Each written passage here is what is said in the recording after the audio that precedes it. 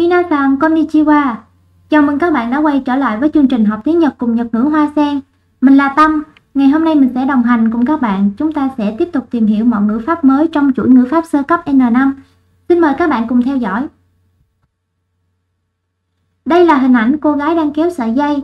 Và khi cô ấy thực hiện động tác đó thì chuyện gì đã xảy ra nào các bạn? Là bóng đèn sẽ trở nên sáng いつもこれを引いて電気が明るくなります。Như vậy, việc mà bóng đèn trở nên sáng là một kết quả chắc chắn sẽ xảy ra nếu bạn kéo sợi dây. Và để diễn đạt được ý này, chúng ta có cách sử dụng như sau. これを引くと電気が明るくなります。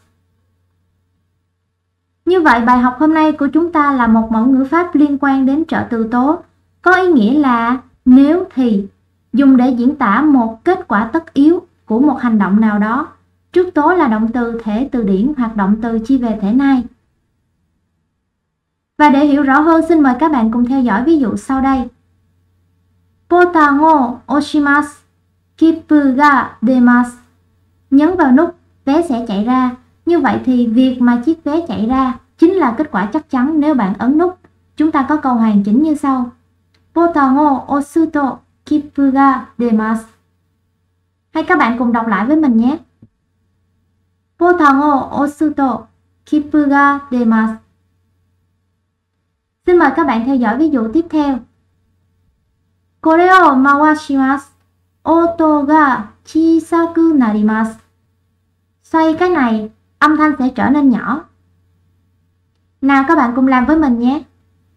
これを回すと音が小さくなります。はい、もう一度読んでください。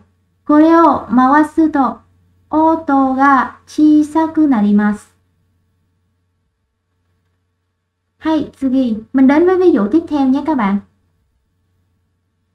セーターを脱ぎます。寒いです。Cởi áo len thì sẽ lạnh.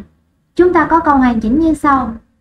セーターを脱ぐと寒いです。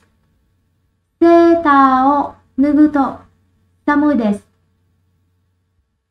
Bài học hôm nay đến đây là kết thúc. Cảm ơn các bạn đã chú ý theo dõi.